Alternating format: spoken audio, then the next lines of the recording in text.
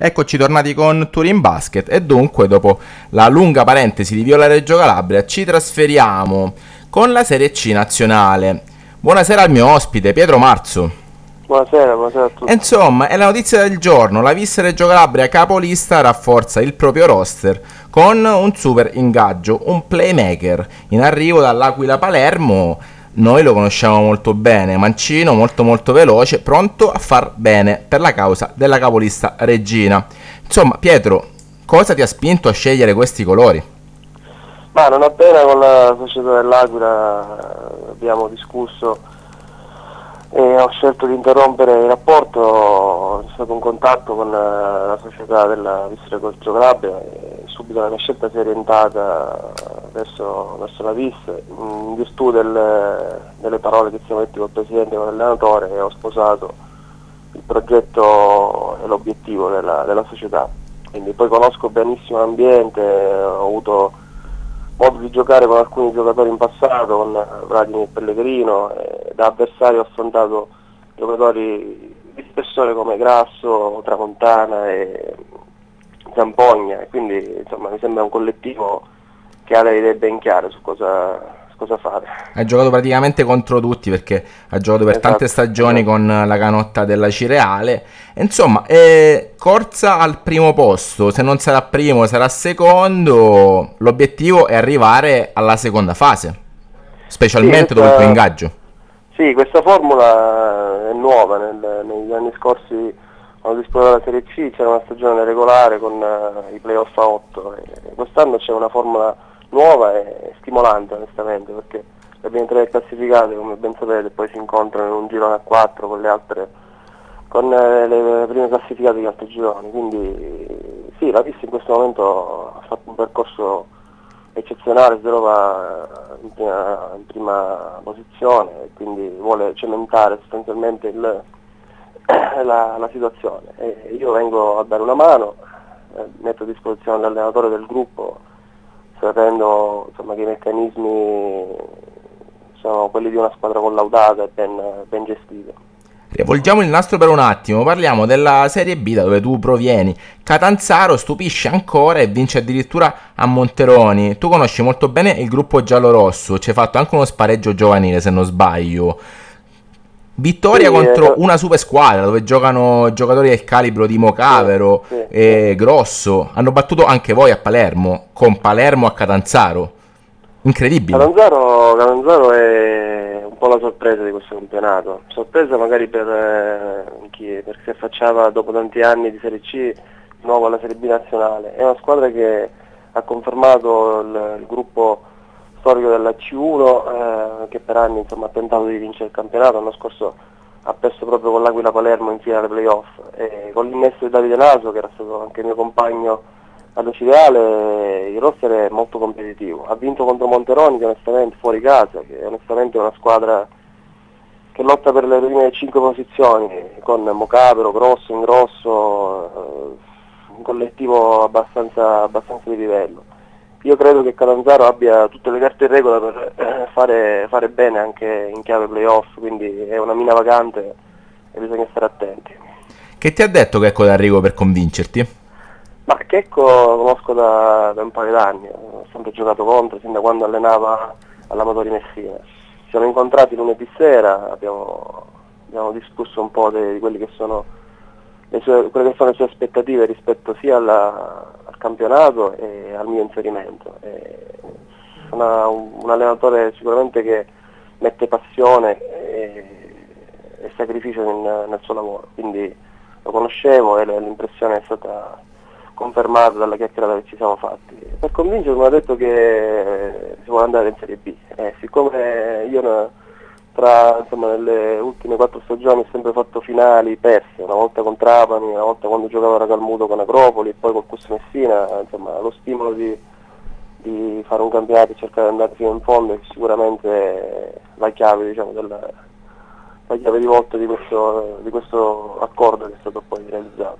È la prima volta in Calabria per te, dico bene? Sì, sì, ho sempre giocato in Sicilia, ho iniziato a giocare la mia carriera in C2 e poi a 17 anni sono passato a Catania in doppio tesseramento, l'anno dopo mi hanno riconfermato, facemmo un, un, ottimo campionato, ci salvammo con sette decimi di giovani catanesi, più Guettini, Riva e Rolando. E poi è iniziata la trafila sostanzialmente con la Cireale, società insomma, a cui mi sento molto legato, che tra l'altro domenica è stata battuta di, di larga misura dalla Vis, quindi ho giocato 4-5 anni a Cireale, facendo due finali, playoff, e in intermezzo c'è stato un anno a Racalmuto, molto positivo, con Ciccio Anselmo Coach, e poi l'anno scorso c'è stata la chiamata dell'Aquila Palermo, in Serie B, eh, che mi ha stimolato. comunque lascio, lascio, un gruppo dove mi sono trovato molto bene, una squadra che chiaramente punta, punta alla Lega 2. Sì, una squadra dove milita anche un giocatore che i tifosi della Viola conoscono molto bene, sto parlando di, di Giovanatto che spesso e volentieri con Agrigento ha fatto del male alla retroguardia della Viola Reggio Calabria. Si parte domenica contro Messina invece per, per la Vis, derby dello stretto contro l'FP di Claudio Cavalieri. Subito in campo, Pietro.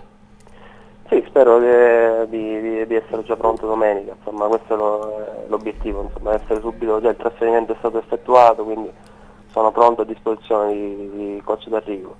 Eh, L'FP Sport eh, adesso io nelle ultime 24 ore ho, ho controllato un po' tutti i roster. Ti sei fatto una full immersion insomma. Sì esatto, seguo un po', ho seguito tutto l'anno, venendo da quella categoria, avendo anche mio fratello che gioca da Cicale, insomma sono sempre aggiornato sulle, sulle partite, sulle dinamiche del campionato L'FP Sport chiaramente è una squadra da non sottovalutare, però la, la VIS, Reggio Calabria, se vuole proseguire il suo cammino non deve, non deve fare passi falsi credo che in settimana ci alleneremo, ci alleneremo per far bene su, al Palabottoghelle dove mi dicono che il pubblico sta crescendo di giornata in giornata. Quando vinci è inevitabile. È, è anche bene così perché insomma si crea movimento e si crea del giusto seguito. A proposito di Acireale, in questi momenti Acireale sta, sta recuperando la gara contro Cosenza sospesa qualche settimana fa per... Ah, eh, avete aggiornamenti sul risultato? Vai, tra poco sì, no, tra io, poco abbiamo tutti in diretta. Okay. E insomma, eh, progetti per il futuro, magari prima esperienza alla VIS per rimanerci eventualmente. Ma eh presidente Luigi Di Bernardo l'altra sera mi ha un po' esposto le sue idee, il progetto che è quello di dare continuità a questo, a questo campionato, continuità che eh, si spera venga, venga dato con un, con un, finale di stagione entusiasmante. E mi sembra un po' prematuro per discutere del prossimo anno, però chiaramente so che l'ambiente poi regge una città di basket, eh, Sindaci La Viola, questa nuova società giovane della VIS che ha grandi progetti e speranze. Adesso come diceva il Presidente che finalmente si è realizzata la gestione delle palabottachelle, eh, avere un impianto a propria disposizione secondo me è la base di partenza per ogni tipo di progetto. In più credo che stiano facendo un lavoro certosino con le giovanili, con, stando molto attenti alle nuove leggi, quindi impianti e il settore giovanile eh, sono un po' il, ehm, la base per qualsiasi tipo di, di, continuità che si vuole dare a una squadra. Che ne pensi di questa? Che ne pensi di questa ennesima riforma dei campionati dove praticamente l'attuale campionato di C sparirà o quasi perché diventerà un nuovo campionato regionale e poi una B allargata facendo sparire la Silver? Sì, adesso ho avuto modo di parlare qualche settimana fa con eh, Peppe Foti che tra l'altro è grande Peppe. grande Peppe sì, insomma mi raccontava un po' delle, delle, decisioni che sta prendendo la Lega. Penso che ricreare una serie C unica a questo punto con eh, la moria di società che c'è in giro potrebbe essere una soluzione per dare senso nu- nuovamente eh, a un campionato anche di C regionale dove eh, spesso stiamo a due o tre squadre attrezzate per le categorie e poi squadre droni, quindi magari mh, fondendo la C nazionale con la C regionale facendo un campionato di Serie C per ogni regione, il campionato si farà più interessante a 16 squadre con uh, dei playoff gestiti bene. Per quanto riguarda la Serie B credo che faranno un, uh, 6 gironi nazionali, quindi e la, la, Lega 2 verrà, verrà unificata con, con, due gironi nazionali. Quindi, la logica è quella di eh, ricreare un po' quello che c'era in passato, no? quindi la Lega 2, la Serie B, la Serie C con dei campionati livellati e con le società che veramente vogliono partecipare a questi campionati. Perché per esempio se prendiamo il caso della Serie B, tolte Bisceglie, Agropoli, Palermo e qualche outsider come diciamo prima Monteroni, ma anche la stessa Pescara, in fondo alla classifica ci sono due o tre squadre che sono iscritte con progetti giovanili e che magari stanno facendo fatica a misurarsi con le grandi. Quindi la riforma dei campionati credo che vada in questo, in questo senso. Vedremo un po' come... che poi la, la Lega è, fa, ne, fa, ne, pensa uno e ne fa tre. Insomma. Sì, probabilmente i progetti giovani talvolta sono, sono, fatti sia per coltivare giovani sia per, per carenze di fondi, perché eh, non, esatto. non, avendo un potenziale per comprare un giocatore under su under l'unica certo, speranza. No, sì, infatti poi magari queste squadre crescendo lungo il campionato possono, possono togliersi soddisfazioni, chiaramente i budget ormai non sono più quelli di 7-8 anni fa, complice un po' la crisi, complici i parametri che la Lega impone e quindi si fa fatica a trovare delle società che sono in grado di prendere 6-7 cartellini in Serie B credo che il parametro sia 6.000 euro, quindi cioè, pronti via già con 6-7 giocatori acquistati, non, non, cartellinati con la società, ci vogliono 40-50 mila euro di budget iniziale. Aggiungici stipendi, tasse gara, stipendi, palazzetto. Infatti, in Sicilia poi in Sicilia e Calabria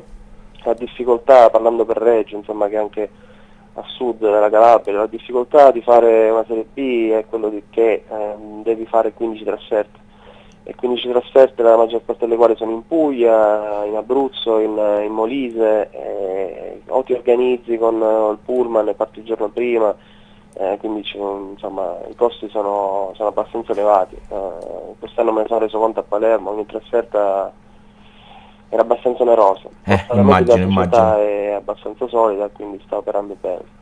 Nel roster di Palermo c'è anche un ex giocatore della cestistica gioiese che salutiamo, Dario Dragna, lui sì, protagonista di una... Io, io coinquilino a casa. Il tuo coinquilino è stato protagonista di una finale per salire in C nazionale proprio contro la Vis. Forse tu questo eh. non lo sapevi, al Palabotteghelle, vinta dalla Vis.